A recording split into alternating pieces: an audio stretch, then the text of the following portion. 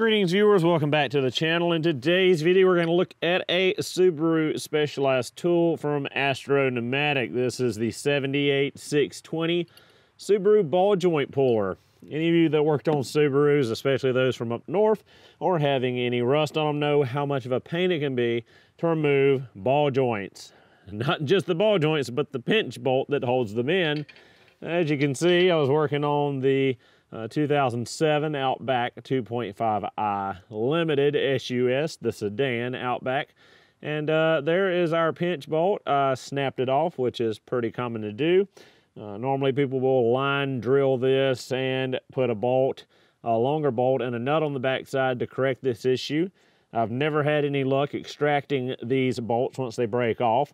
Uh, but I used my Mac RBRT extractors, drilled a hole straight through, and I was finally able to, for the first time ever, extract one of these bolts. So got it out without tearing up the thread. So I've got to find a new pinch bolt, but we'll be good to go back together.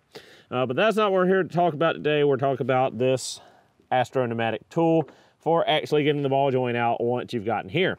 Uh, this car was quite rusted. I've seen way worse than this, so honestly, I probably could have got it out without this tool. Uh, but for the price, I think it was about 24 or $25 on Amazon. I'll link it in the description of the video. I also have it in my Amazon storefront. Uh, but we're gonna go ahead and use it right now to extract this ball joint uh, from the steering knuckle on the 2007 Outback. So you've got this little uh, threaded collar here. One end threads on the stud of the ball joint where the castle nut goes. Get that on there. Then you've got a threaded rod inside of this puller. I'm gonna put this in here.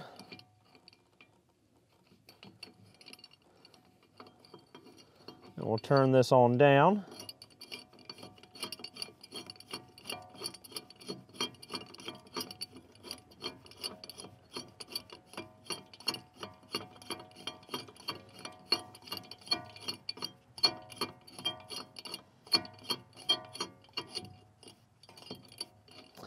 Looks like uh, we are threaded all the way down, so we're gonna put that, position this uh, over the outside of our ball joint.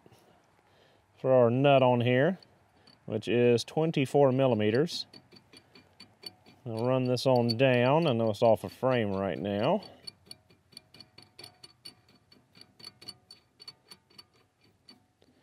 Go ahead and run that down like so.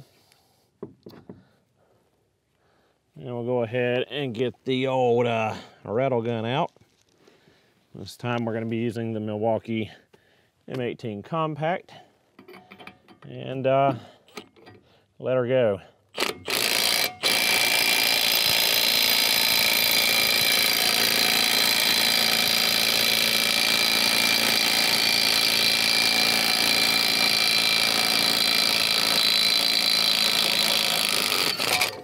And boom. Ooh, that was uh, that was a good one. Did you see all those rust chunks come out of there? Look at there. Makes the job effortless.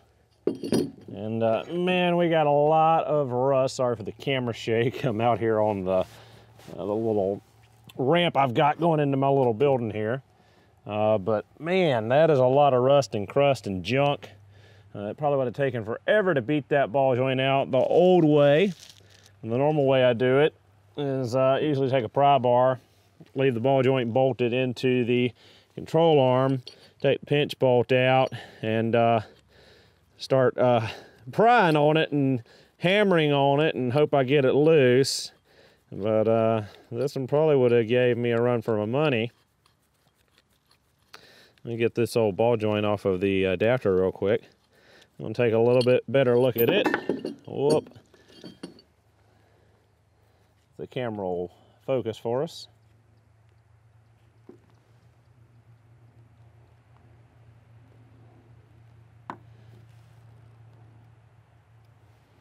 Uh, there you can see how rusty and crusty and just disgusting that ball joint was.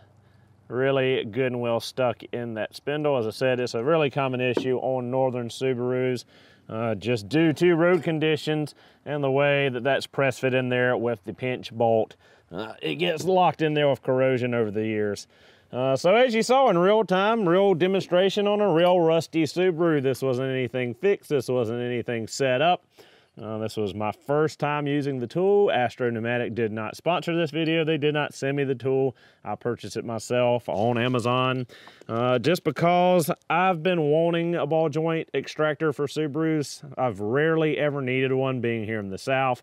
As I said, it's more of an issue with Northern cars, but I get Northern cars every once in a while, as you see from this one. This one uh, spent its time, uh, most of its life up north, and, uh, you know, that made a very difficult job very quick and very easy on this Outback. And, uh, you know, that's what specialty tools like this are really for.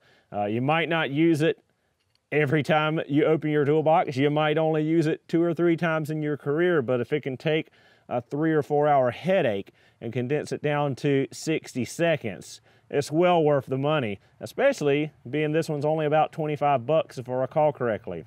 So, don't know if we're gonna have time today to pull out the other ball joint and extract it. Uh, I might go ahead and do that just to show you a second shot.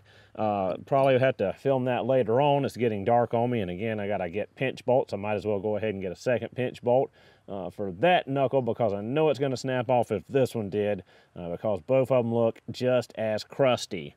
Uh, so, probably gonna go ahead and start on that one. And uh, we'll put that in here. Now you throw your impact on there and let her eat.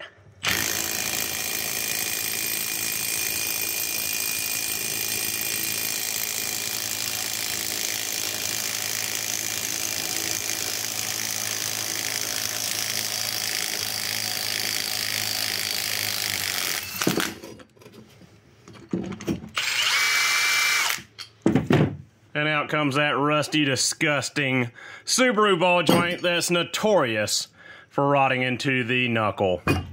I'd love to go ahead and install the new ball joint, but again, I don't have that new uh, pinch bolt, so uh, can't bolt her in there. But again, here's another comparison uh, between the ball joint that came out of it and a new Subaru ball joint. Uh, yeah, the boot's missing. It was tore all to pieces and ended up burning most of it and uh, ripping it off and tossing it while I was torching this trying to get that pinch bolt out of there.